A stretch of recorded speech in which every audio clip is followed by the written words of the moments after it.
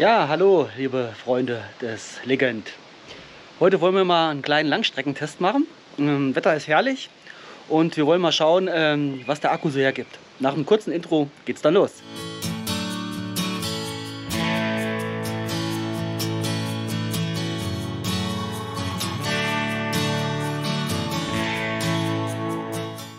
So, wir wollen heute mal Richtung Eschwege runter scootern. Ich will mal kurz auf den Tacho schauen, damit wir auch einen Vergleich haben. Wir haben jetzt hier, also meine hat jetzt genau 103 Kilometer runter. Ähm, die Voltzahl liegt so bei, mal sehen, ob man es erkennen kann, 14,2 auf meinem. Ja, der Anja ihrer hat noch nicht ganz so viel gelaufen.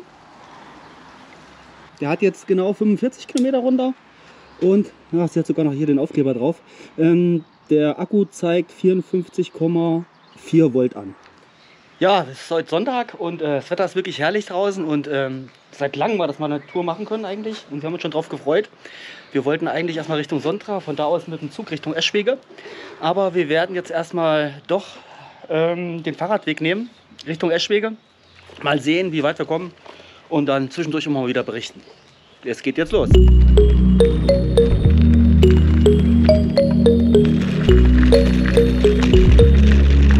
Ja, hier direkt am Radweg zwischen Kornberg und Sontra ist so ein kleiner ja, Snack, was zu trinken an der Quelle. Ja, da kann man sich hier selber bedienen. Da drüben ist, glaube ich, das kann ja mal rübergehen. Das ist wirklich ganz nett gemacht hier, so als Pause für die ganzen Radfahrer, die hier vorbeikommen. Ist ein kleines Bächelchen. Ja, richtig toll gemacht, also mit viel Liebe. Und hier unten haben wir was Kühles zu trinken im Bach stehen. Und eine Spendenbox gibt es auch. Ja, richtig cool und toll.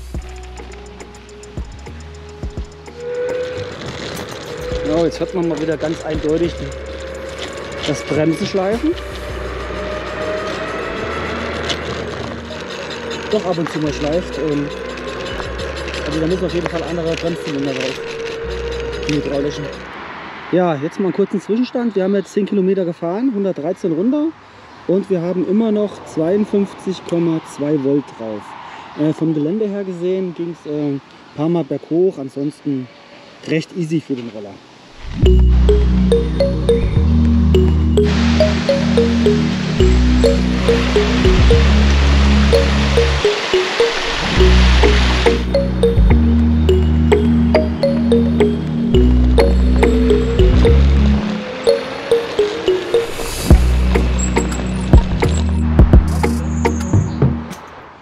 So, jetzt haben wir insgesamt 20 Kilometer gefahren und wir haben immer noch 50 Volt im Stand.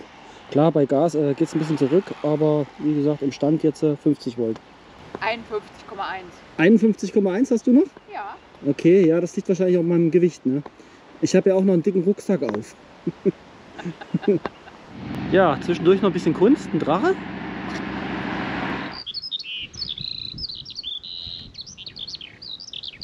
Ja, jetzt haben wir eben eine ganz schöne Steigung hinter uns. Also es hat echt Akku gekostet. Was für Daten hast du? 50,1 und ein Balken verloren erst. Ja, das sieht bei mir schon anders aus. Wir haben jetzt 23 Kilometer gefahren. Ich habe noch zwei Balken über und bin jetzt bei 48,9 Volt. Also der Berg hat schon am Akku ganz schön geknabbert. Ja, nach bergauf geht es auch mal wieder bergab. Jetzt haben wir noch circa 4 Kilometer bis nach Eschwege. Also landschaftlich sehr schön hier die Ecke. Ja, und gut ausgeschildert. Also R5, das sieht man es nochmal, das ist der Radweg R5. Ja, man sehen kann, wir sind hier direkt am Segelflugplatz. Cool. Da dreht eine Runde um uns. Sehr schön. So, nach 29 Kilometern sind wir jetzt in Eschwege angekommen. Ich habe immer noch zwei Balken, wie gesagt, 29 Kilometer gefahren, ähm, 48,4. Und bei dir? Drei Balken, 49,7. 49,7. So, jetzt haben wir uns nach der anstrengenden Fahrt nach 30 Kilometern Eis verdient. Herrlich bei dem Wetter. Ist glaube ich das erste draußen dieses Jahr, Das ne? erste dieses Jahr allgemein, ja. Ja, ja. Schon traurig, aber naja, es ist halt so. So, jetzt überqueren wir hier nochmal die Werra. Die Eschwege.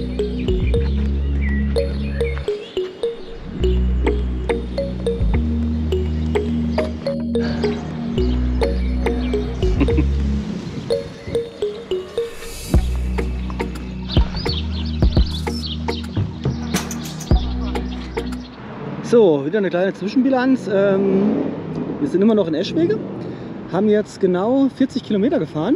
Ein Balken habe ich noch und äh, 46,8 Volt. Ich habe eben noch mal kurz auf der Liste geguckt.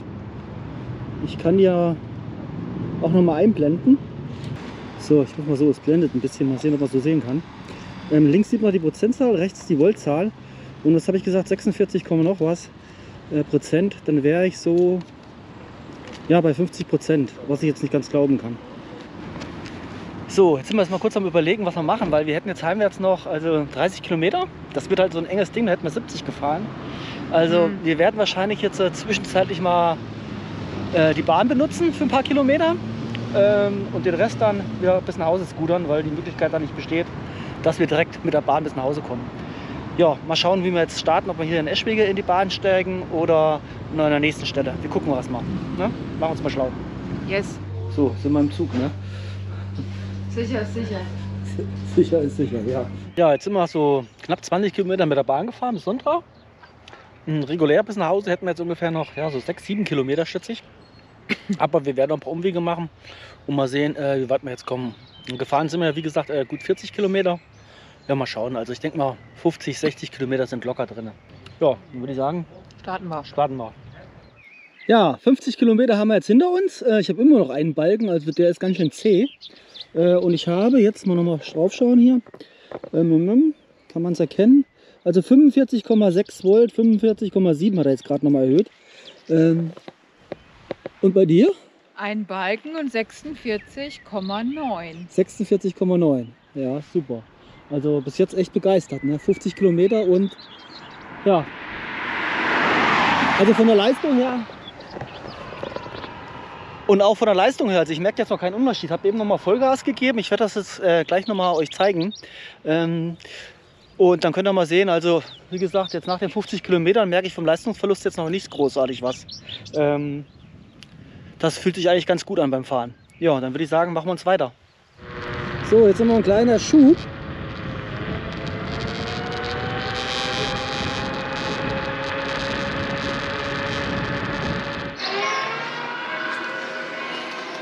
Die Anja hat noch genug Strom, die fährt sogar noch mit Licht. Ja, also jetzt hier am Berg, da wird er langsam ein bisschen müde. Also der Akku schwächelt jetzt leicht, würde ich sagen. Ich meine, hier geht es auch ganz schön hoch. Aber ich komme immer noch mit 21 km/h hier hoch. Ja, und gefahren haben wir jetzt 55 Kilometer. Also 60 sind ohne Probleme drin. Ja, schauen wir mal. Ja, bergab macht er natürlich richtig äh, Fun. Also er drosselt nicht. Geht auf 40 km/h ohne Probleme. Also ich muss da schon mal wieder ein bisschen bremsen, es wird dann zu schnell.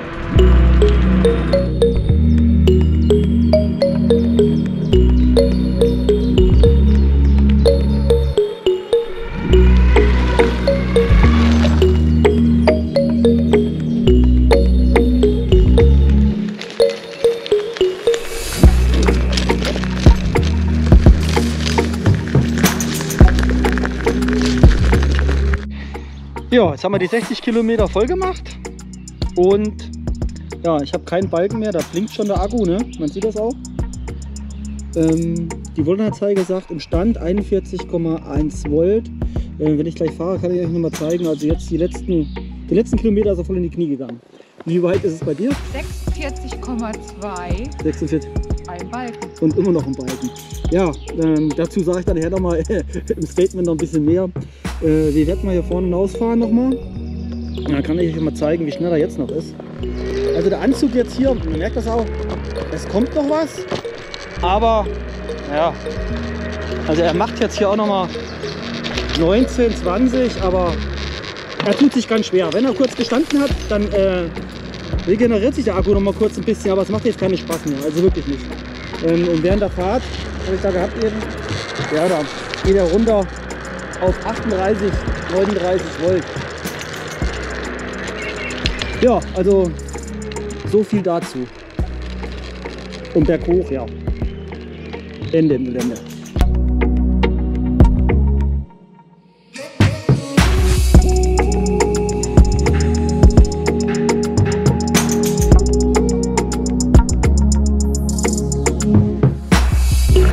Wir haben jetzt noch mal kurz die Scooter getauscht, weil ich von meinem Gewicht her mit meinem jetzt keinen Berg mehr hochkam. Und Anja, ja, Immerhin 5 km/h fahre ich. ja. Also das Gewicht spielt eine gravierende Rolle. Aber wir sind jetzt auch gleich zu Hause. Und jetzt geht es nur noch bergab.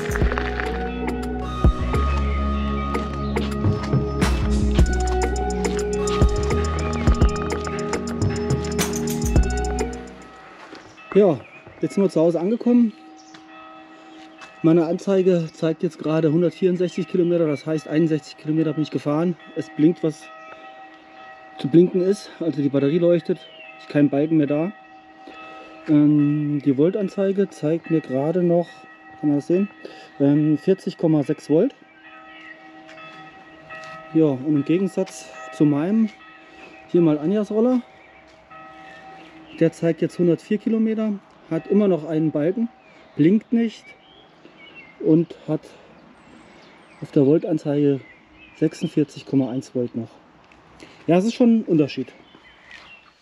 Ja, das war jetzt unsere kleine Sonntagstour, die wir gemacht haben. Kleine schon gut, ne? Montagstour. Ja, richtig. Wir haben Pfingstmontag. Oh ja, ich bin noch bei Sonntag.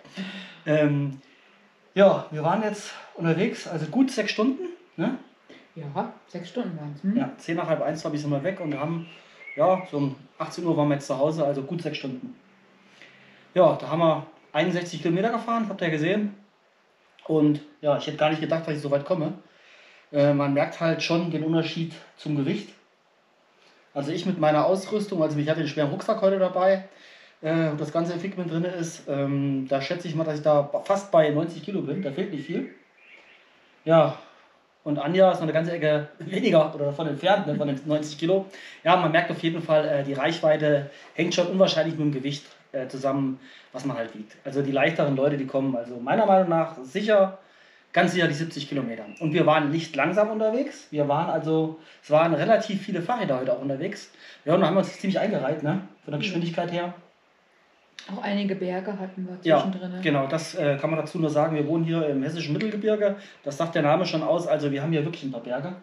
Ähm, man hat das auch gesehen vor Eschwege, da habe ich gar nicht mit gerechnet, dass es da so hoch ging. Hat bei mir auch echt, echt ähm, Akku gekostet. Aber desto trotz sind wir wirklich, also ich zumindest, 61 Kilometer. Anja wäre auf jeden Fall, also ganz sicher, die 9 Kilometer hat sie locker noch geschafft. Ja, Mit Sicherheit. die hätte ich noch geschafft. Also die Angabe, die da ähm, Eurorock macht mit 70 Kilometern, also ich bin davon überzeugt, wenn man sich so an die Geschwindigkeit hält, die zugelassen ist, ähm, sind die 70 Kilometer beim Normalgewicht, sagen wir mal 60 Kilo, 70 Kilo, äh, locker machbar, ganz sicher.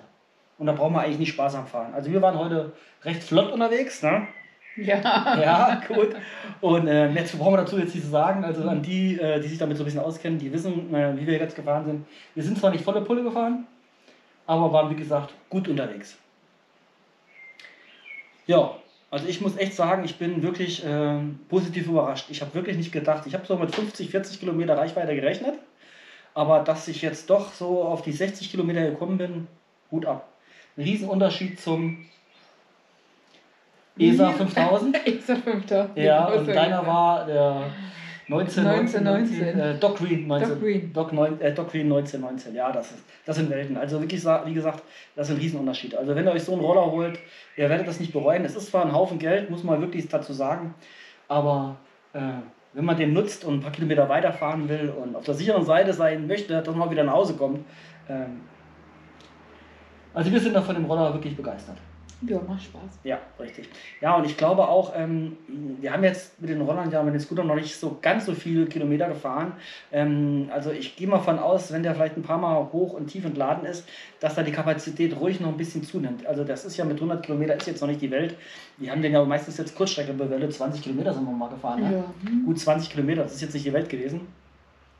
Aber ich denke mal, wenn wir den noch ein paar Mal laden, wird sich das ähm, vielleicht auch noch ein bisschen nach oben hin bewegen, also von der Kilometerleistung. Ja, also für uns auf jeden Fall Daumen hoch bei dem Roller, bei dem Scooter. Äh, würden wir auf jeden Fall wieder kaufen. Ganz sicher. Ja.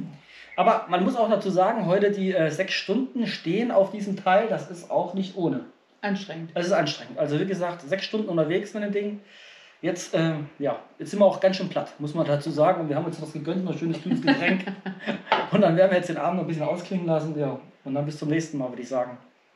Wenn es euch gefallen hat, schaltet wieder ein. Es kommt mit Sicherheit was. Bis dann. Ciao, ciao. Ciao, ciao.